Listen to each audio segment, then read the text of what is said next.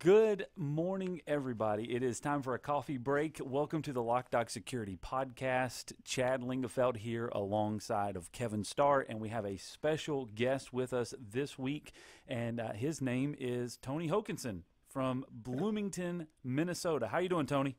Pretty good. How you guys doing? Well, we're doing fantastic. Uh, it is. It's a beautiful day here in Charlotte, North Carolina. We just weathered uh, the after effects of Hurricane Florence. Uh, I think by the time it got here, it was like a, a, tropical depression or something. Tropical storm, yeah. It was just a lot of rain and, and some yes, wind. a lot of rain. But yeah, it's it's been really good. So we're excited to uh, to sit back down, and uh, we didn't have any major damage here. There were some folks on the the coastline and and, and on the way in that uh, suffered some damage and some flooding, and there were some areas in Charlotte that had some flooding as well. But um, but yes, for the most part, I think everybody is is doing all okay. So how are things up there in Minnesota? Pretty good. A little rainy today, though. We had some big storms yesterday, and it looks like it's going to be raining all day today. Um, it's been really hot. I think it was in the 90s all weekend, but finally cooling down a little bit into the 60s for the rest of the month, I think. Oh, wow. What What is the typical weather up there for you guys? A lot of snow, or is that just. Uh, in the winter, yes. We usually start getting snow in December or so. Um, last year, it lasted all the way through April. I think we were. I was on the way home from the ISC conference, and we got almost a foot and a half of snow in April. I remember so. that. We were talking about that when we were uh, when we were out in Las Vegas, and you were saying that you guys weren't even sure if you were going to be able to land very easily. Yeah, it wasn't easy. I can tell you that.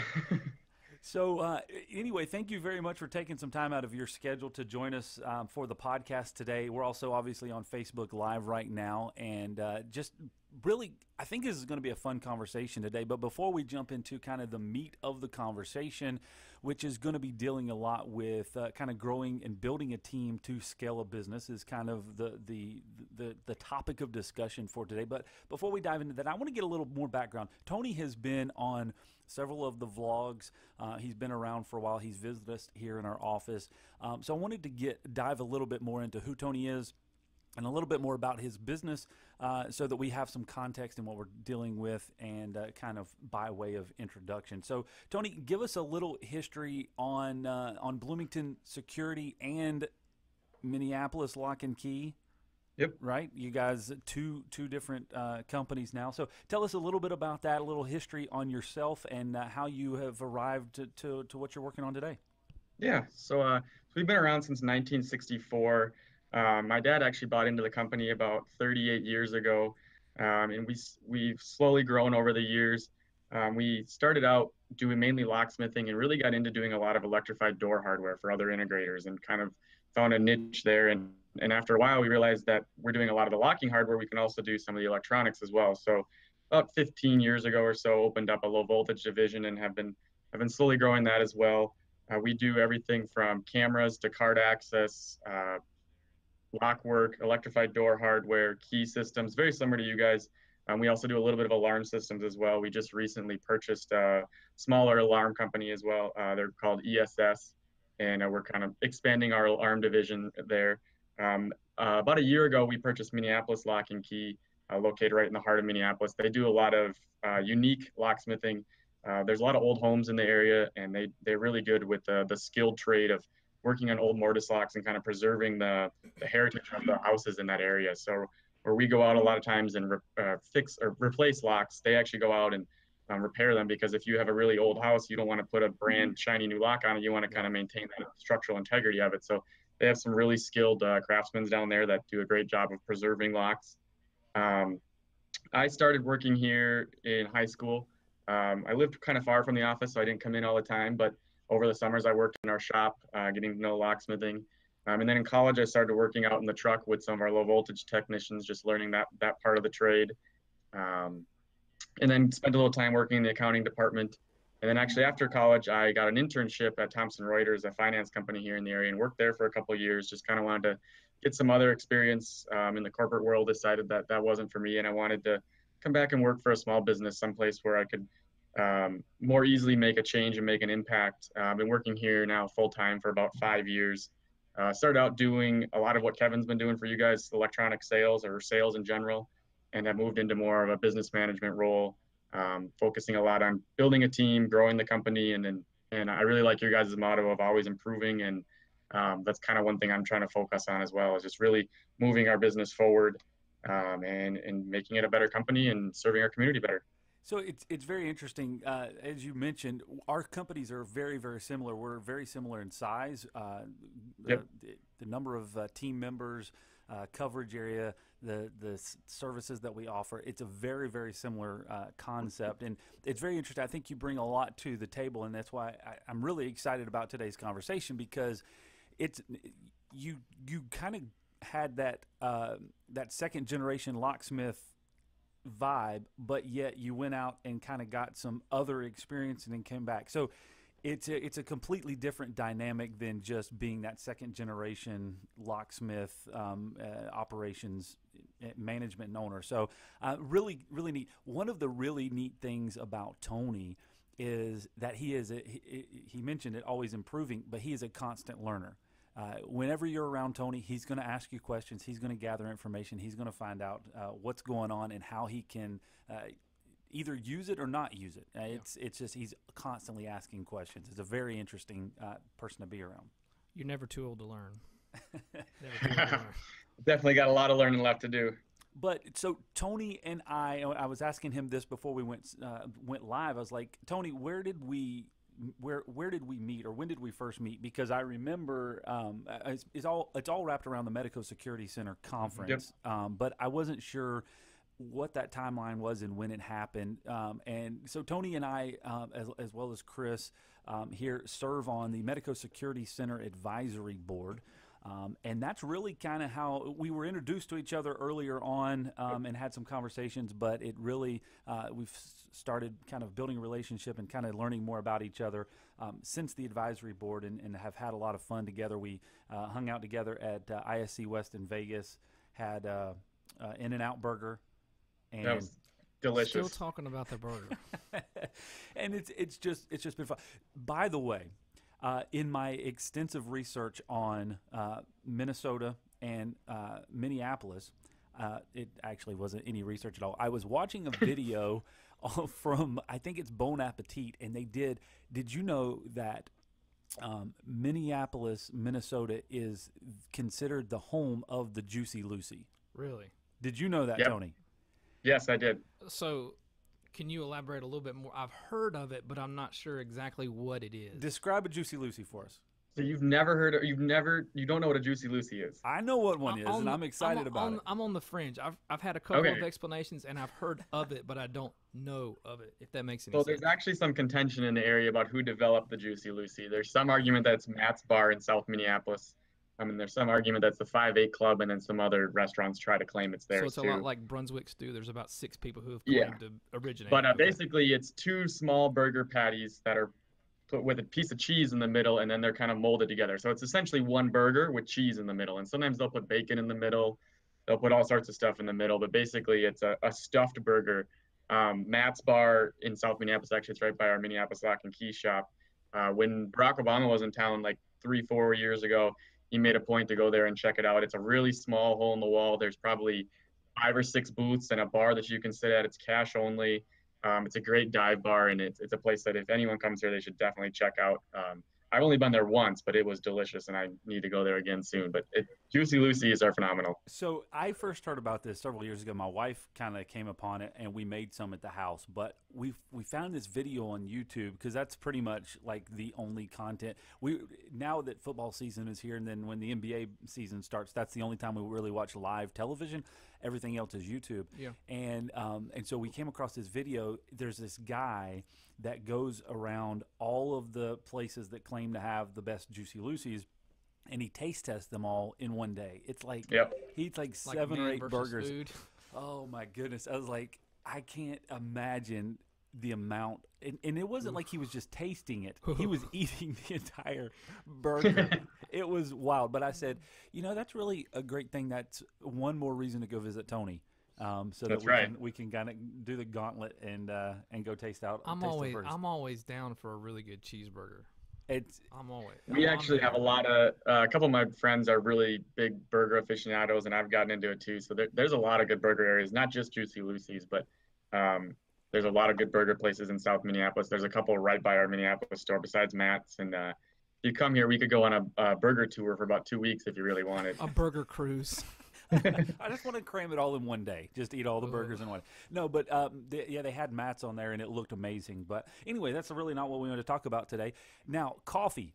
Because today is our, it's it's coffee break and kind of I, I like to recap this because it's really I want to make make everyone aware the concept behind this podcast is literally for months on end, uh, Levi and Lucas would come in to my office around two o'clock in the afternoon. They still do. They still do. Still do. And they would make a fresh cup of coffee and they would sit around and we would have a, a 15, 20 minute conversation about it could range anywhere from uh, building operations, building processes, uh, how to make the best uh, steak, you know, where to get the best cheeseburger. Um, it could be, you know, a variety of life's complexity of, of conversations. And I, I had this con- this concept one day of this is really interesting information. More so the kind of building processes for your business, Yeah, less yeah. of the the the, the food conversations, but. That we should re- record this and share this because it's it's just normal conversation that we're having around um, kind of the table every single day. So that's really the concept of of this. And so we always have coffee. So I've got my my coffee here today. I know Tony, you mentioned here recently, which I thought about it this morning. We did not go get a cup of coffee together. No, we in, didn't. in California when we were out there recently. But um, you have your coffee with you this morning. I do. It's in a nice uh, Medeco Security Center mug. Look at you, product Yeah, placement. thanks to uh, the Medeco Security Center team, Ben Salty and Leslie. Oh goodness! think Don't Ben's give Ben a shout out. Ben's watching. Yeah, He's gonna. Oh my goodness. So, uh, you you said you just recently kind of got into coffee or started to enjoy it a little more. a little bit. Yeah, I, I don't do anything fancy like you though. I still use the dreaded drip machine that probably makes you cringe, but uh, that's all I use for now until next time I come down there and you teach me some Norways to make coffee. We I- can fix that. We're, we're gonna get you hooked up with uh, with a siphon brew. It's Yeah, it's- that looked pretty interesting. It looked like a lot of work though too.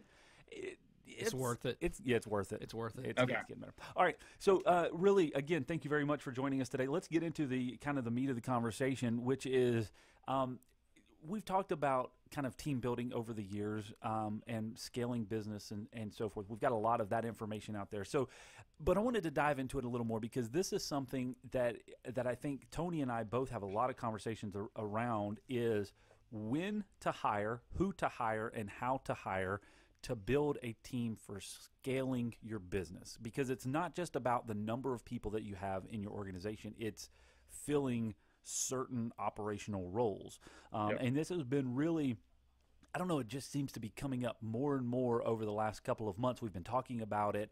Um, Tony and I have talked about it. I've talked about it with a lot of other other folks.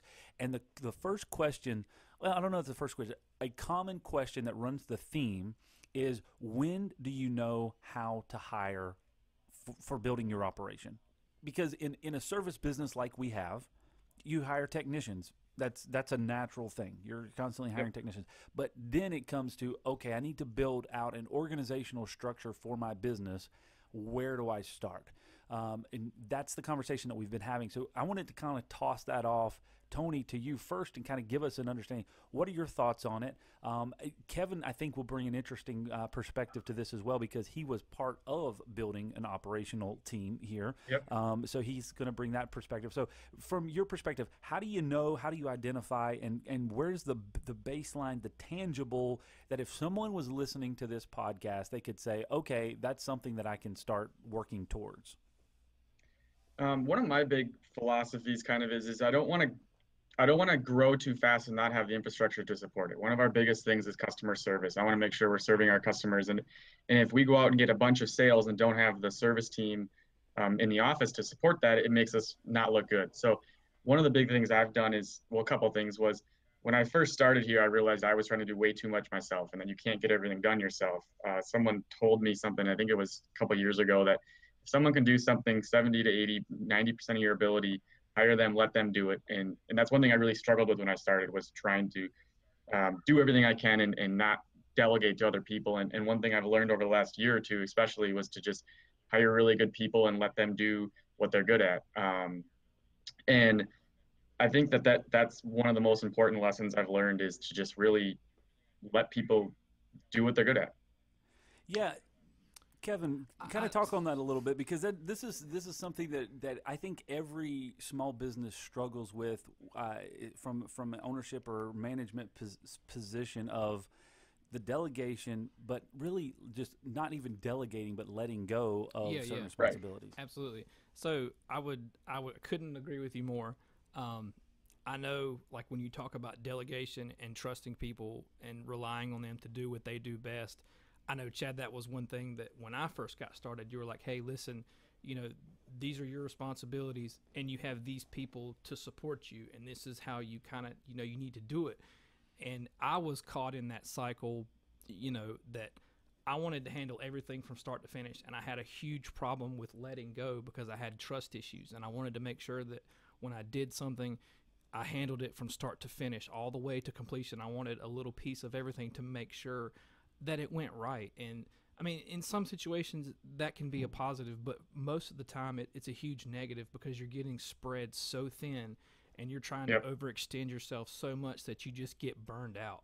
And I, I, I specifically remember when I first got started, you're like, don't get burned out. Don't get burned out. Don't get burned out. You know, you need to be in it for the long haul. Do not get burned out. You have to trust the people that are there to support you. You got to work on the handoff. And that's really the gist of kind of what we've done here is we've we've set people up so that you know when my portion of whatever it is I'm doing is done, I can feel confident in handing it off to someone else and trust and know that it's going to get done. Yeah, it, it's it's all in kind of it, a lot of that conversation is based off of my failures over the years, over my frustrations and and my lack of of handing off and and trusting other people to carry it through. And so it's it's been a lot of lessons learned, and it's it's been interesting. Uh, again, this is a common theme that you deal with with building a business. Yeah, I think a lot of people struggle with that. It's it's a very I've never heard someone say that I have no problem or that they have no problem delegating from the start of their business. I think it's something you definitely have to kind of experience firsthand before you realize, okay, I just need to let go of this and and know it's going to all work out. So, Tony, for you, the question that I have is when you first started hiring for those types of positions, how did you know which position to hire first and, and kind of how did, what was the direction in that?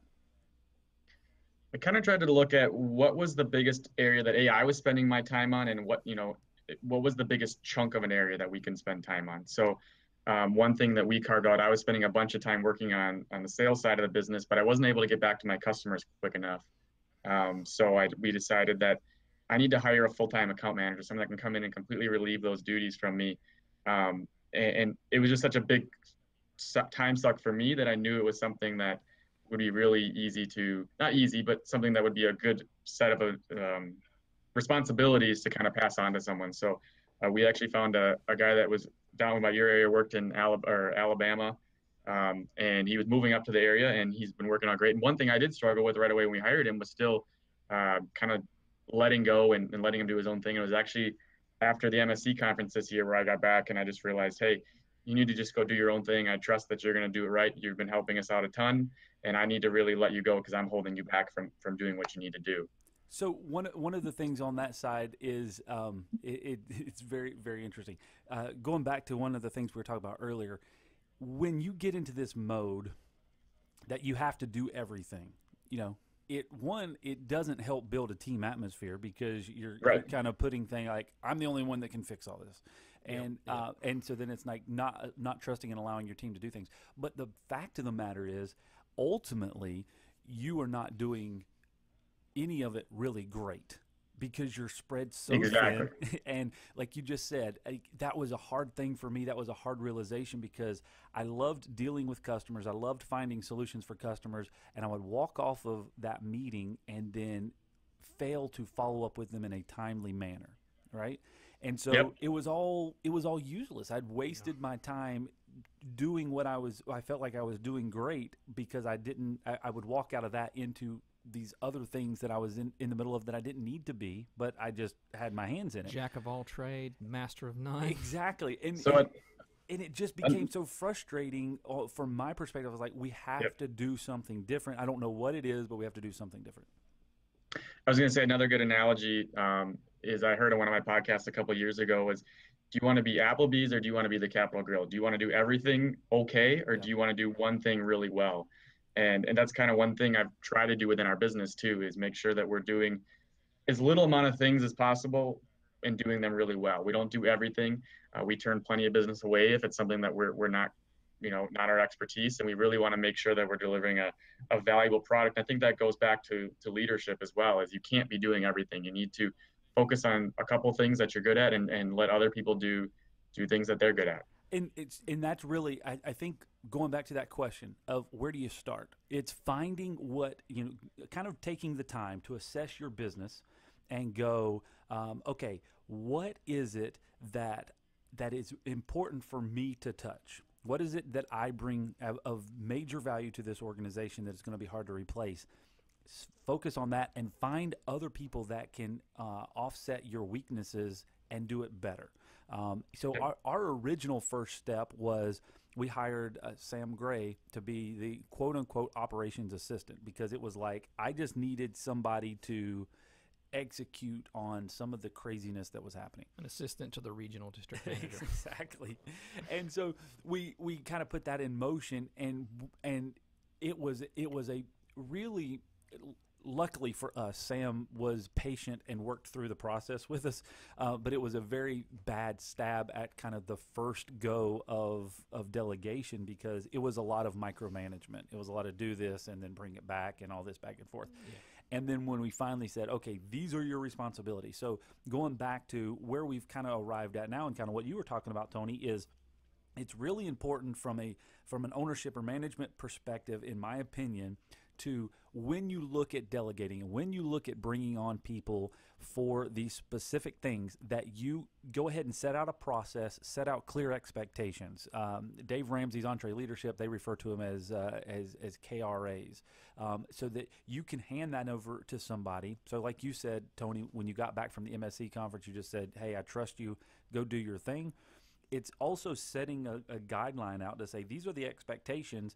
Work within these parameters go at it. You know, do it do it better than I was doing it, and that's that's been my favorite conversation with team members as we bring them on. Is just like Kevan, uh, Zach, Nathan, um, uh, Levi, a lot of other guys in those areas. Uh, Lucas, now mm-hmm. I bring them in and I say, hey, this is something that I've been doing, not well. so I, I'm not going to train you on how I was doing it not well, but here's the parameter, and this is what I want it to look like and I want you to make it better than what we can ever imagine it to be and and go and and, and tackle it. And we've seen some great success with it because it's like, hey, here's a st- here's a, a rough guideline and go make it better is, is kind of the concept. But it goes back to what you said: hire great people, hire people that you trust, hire people that that can do that, and then get out of their way.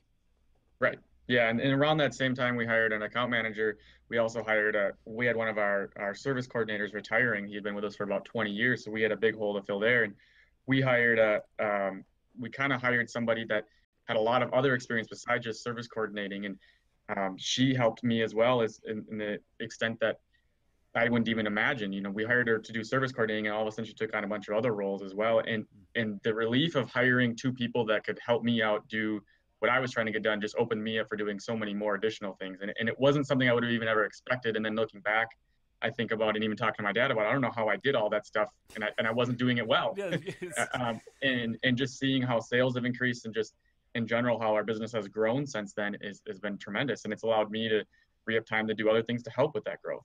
Kevan, from your perspective, and because again, I want to I want to uh, gauge some of the other side. You have been in roles before where you were you know judge, jury, and executioner yes. type yes. type thing, and and then you've come into this process where we had.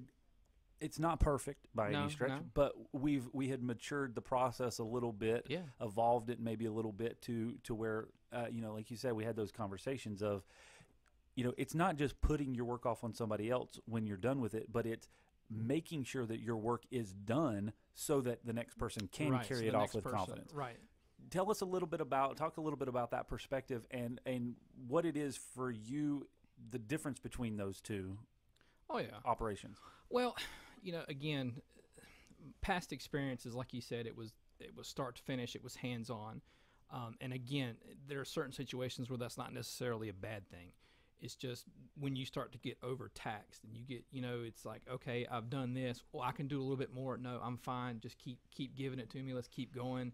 Because you kind of get, or I got into this mode. Where it was like, I can just do it on my own. I don't need anybody. I'm fine. I can handle the work. You know, just Yeah. I got that head. You know. Yeah. I just just get out of my way. I, I don't want to explain it to you.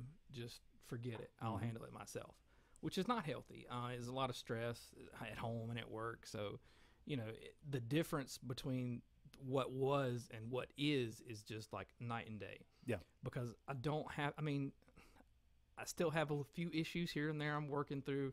You know, trying to again trust the people behind me.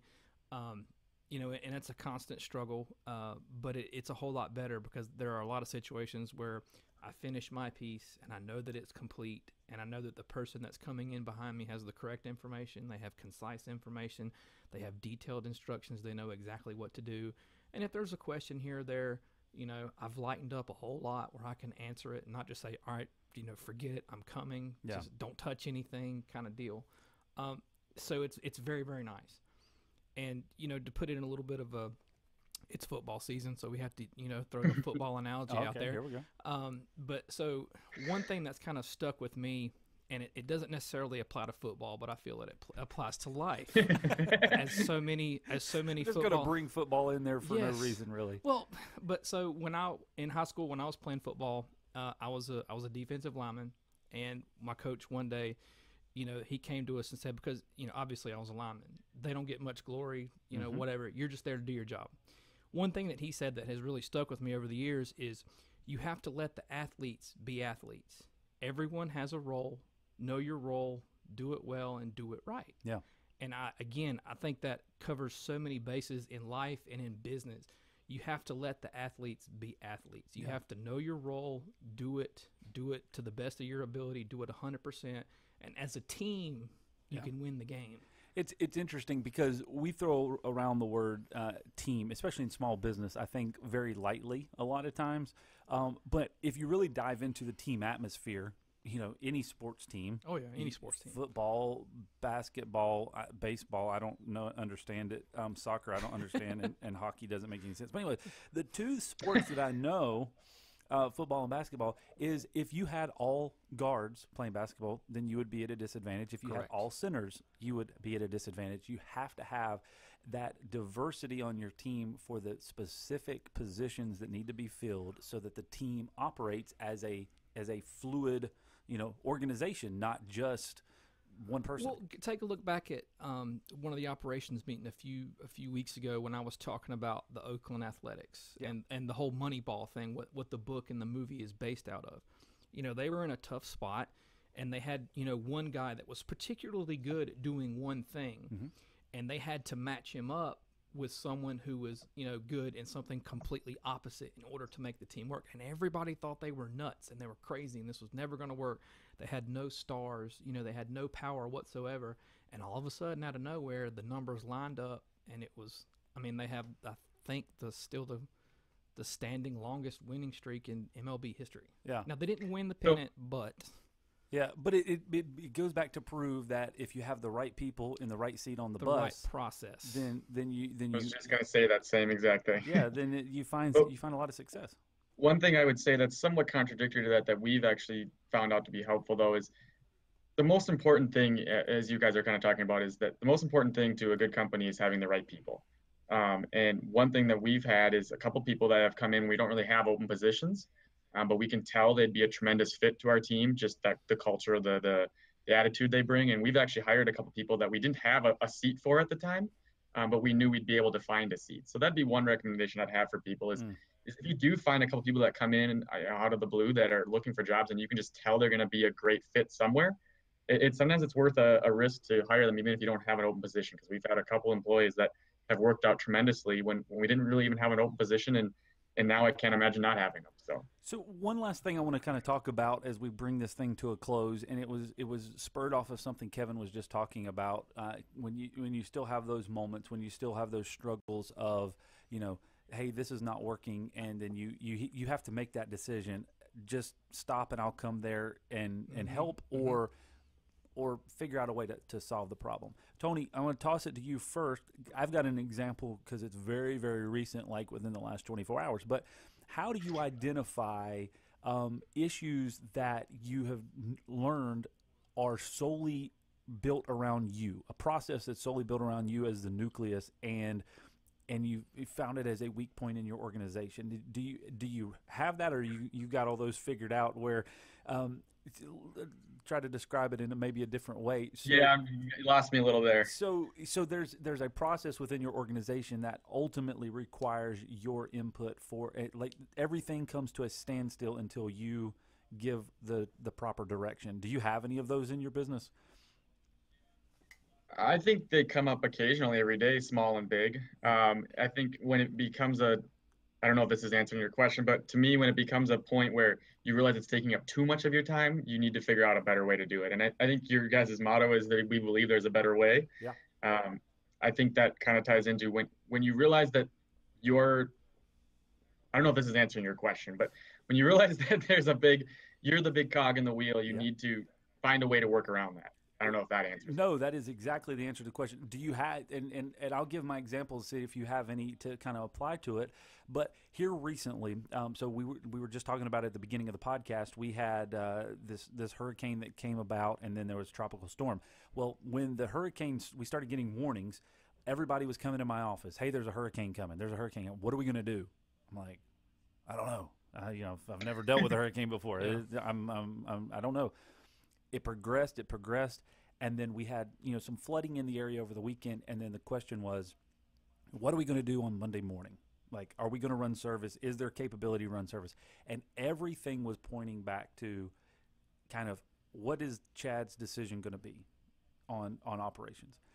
Well, ultimately, what it came down to is I was going yesterday morning when all this was kind of happening. I was getting ready to board an airplane, and I was going to be airborne for an hour and a half and not accessible. I did, was not going to have internet. I was not going to have cell phone service. I was not going to be able to phone call, and all of these decisions had to be made. And I had this moment of realization of I, I was frustrated with myself because I allowed me to be the cog in the wheel, right? That said everything is waiting on me. So what happens if I'm deathly sick or whatever? I'm inaccessible. Right. Like, what happens to this whole process? So my answer to it was, and this is kind of where I was I was trying to to see what your process was, but my answer to it was the entire flight I was typing um, on my on my phone a process. I had to document the process because I did not want it to be solely reliant upon the information that was in my head or the process that I defined in my head. It had to be documented so that it could be shared with the the the appropriate people so that that decision you know it's one of the things that i'm really trying to get better at um, in in this organization is documenting processes so that I would. whoever comes across it knows exactly what needs to be done picking up an instruction manual and carrying it on I would agree with that. That's one thing we struggle with a lot is we have very little documentation. We've started creating some more because I've realized the need for it, but it, it's one thing that we really struggle with. And even at my old job, it's one thing I struggled with. My manager would always tell me, "You need to document this," and I was just like, "This is the most boring thing ever. Why would I want to document this?" And didn't quite understand the, the high level of it. Now being on the other side, I understand it's extremely important that you need if you're not there or if someone's not there there needs to be a process in place so that someone else can step in and do the job temporarily or permanently, wherever it may be. Yeah, it's. It, I think that my again my recognition of it is if it requires my input, then I have done a f- poor job of documenting my my perspective, my opinion, or whatever, or the opinion of the organization. And and so if we can document it and have it accessible, then anybody can make that call because they it's it's kind of like going back to and I'm I, am i am just stuck on this right now core values in defining those core values so that anybody can kind of pr- run any question through that filter. Should yep. we do this? Well, let's apply it through these core values. Yep. Yes or no, and then you move on because it's a flow chart, right? Yes, it is a flow chart, and it sounds awfully like every time I come to ask you a question about something, it's the answer I get is, well, let me give you my opinion, not necessarily an answer. Yes, because I, I want, and the whole reason I, I adapted that philosophy from a couple of books that I read, but the re- reason I give those answers is because I want to teach how to make the decisions, not um, give the answer, because then I'm, it's just going to be a constant yeah. revolving door of questions. Right, Tony? That's right. Any closing thoughts? I've kept you longer than I than I asked you for. That's okay. Um, not really. I guess one question I think that I have that may be uh, beneficial for listeners is what are kind of some of the main books that you've read? I know the answer to this, but um, what are some of the main books that you've read that have kind of helped you with with growth? And I can maybe give some of my thoughts as well. Have you ever heard of Turning the Ship Around? I- Fantastic. I've never heard Chad talk about that. Never heard me talk about it. So here's the situation. I, do you want the list of books that I've read completely, or the books that I've started and not finished? Which one's which list is Doesn't longer? matter. Whichever ones have been the most impactful. Well, it's interesting because I, the the way that I digest a book, the, the books that I've read completely is EntreLeadership, um, Turn the Ship Around, and the Steve Jobs biography. Those are Okay. books that, and there's probably been a few more, but those are the ones in, in most recent years that have impacted me the most. The Steve Jobs biography was a crazy, interesting story, but it also taught me about how to not be the over, like, crazy leader that just drives everybody insane. Like that that was Steve Jobs. He got the he got the most out of people, but he got the most out of them and then they were they were done, you They know? burnt, they were burnt out. They were you, you got So- you've got these people that are still in the organization and you have all these people that are like, yeah, I worked for Steve Jobs for 5 years and I'm not anymore cuz I can't take it. What was your? I'm curious. What was your takeaway on that? As far as you know, he was obviously extremely successful. He built the largest company in the world. Yeah. Um, from your perspective, what could he have done differently to still get all that? This is probably a whole nother podcast, that's- but yeah, let- we, we may reschedule that one. It's it it was it's it's a lot. You know, there there was the, whole story there. It, he he he gets ousted from the company, learns a lot, you know, from failure, and then comes back and is a completely different person. He still has a lot of similarities, but he comes back as a different person. Um, the the other book, uh, Turn the Ship Around, is about how to build organizational structure to empower. Uh, Everybody in your team to be a leader and to make decisions. That was very impactful for me because that changed that philosophy of waiting for everybody to come up and ask me questions to being able to answer that question, like Kevan just said, is let me give you my philosophy on it so that you know the parameters. Um, some other books that have helped me out, like it kind of my in my personal world and especially in business partnership, because you know Chris, Chris and I are two completely different personalities. Um, uh, the Idea Monkey um, is is one um, that I uh, that I really grasped a hold of because it it really kind of dissected about stories of partnerships. Um, where there's there's someone that kind of has ideas and then there's somebody that has like reasoning and and then how they work together uh, oh yeah, that's you guys. um, it, it talked about stories like uh, Roy and Walt Disney and Steve Jobs and Steve Wozniak and some of the great partnerships of, uh, of of large businesses over time and how there was one person that was like just You got to have a pitch, man, and you got to have a backer. there you go. So so the, that type of stuff those have been very very beneficial. Um, uh, Eat the Frog is a prioritization um, uh, book that I've read and there's a there's a lot of them. But anyway, I've, I've probably talked too long. What are your books? Uh, two of my favorite ones are Start with Why by Simon Sinek. Uh, just kind of all about having, you know, not only what is your purpose, but what is your company's purpose. And it's a, and as opposed to starting, or as opposed to going, uh, what, how, why, you always need to start with why you're doing something, and then everything else will kind of follow suit. Um, it's a great book. I haven't, it's been three, four years since I've read it, but it, I should probably revisit it. But it, it's a great book for anyone that's not even running a business, just what they're doing in their life. Um, another one that I really like is by Daniel Pink. It's called Drive. Um, his main thing is all about motivating people and how historically everyone thought carrots and sticks were the best way to motivate people. Where now it's more about autonomy, mastery, and purpose. People like to do things on their own. That kind of goes back to the leadership thing. Instead of telling someone exactly what they need to do, um, tell them what you want to accomplish and let them figure out how to do it. Um, people like to master things. They like to be an expert at things. And again, that goes back to what we were talking about with leadership. Let Yeah. people have that that mastery. Um, and then lastly, purpose. People want to know a, a greater purpose of what they're doing instead of just, hey, go do this and I'll pay you this. You know, figure out, you know, have a, a larger goal, and that actually ties directly back to that the, the why that Simon Sinek talks about, and and know why you're doing something. So, to me, those are very impactful books. Um, I'm not a huge reader. I love learning, but reading's always been a something I can never concentrate on. But those were books that I breezed right through because they were so interesting. Yeah, yeah, I'm I'm same. I, I'll start a book uh, traveling or uh, listening to an audiobook or something, and it'll spur an idea, and then I'm like, ah, go off and do this other crazy thing, and then I, I never get back to it. Guilty. Kevan, what do you have? Book recommendations? Um, it's not really business development related, um, but the last book that I read, like on a personal level, was called The Habit of Rivers.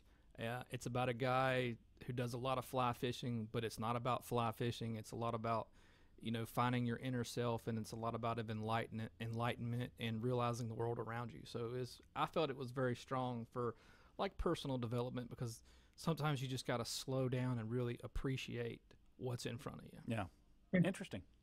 Well, cool. Tony, again, thank you very much for, uh, for yeah, thank you guys. today. It was this was an amazing conversation. Um, really hope that uh, our our podcast listeners get some value out of it. And um, if you like this content, share it. Um, if you have any questions, any uh, topical discussion ideas that you would uh, you want to hear us kind of chat about, or some processes that you would like us to kind of dive in more of, please feel free to comment, um, share these videos, share the podcast, and uh, obviously visit us on our website locdoc.net. Tony's website is uh, www.blmss.com.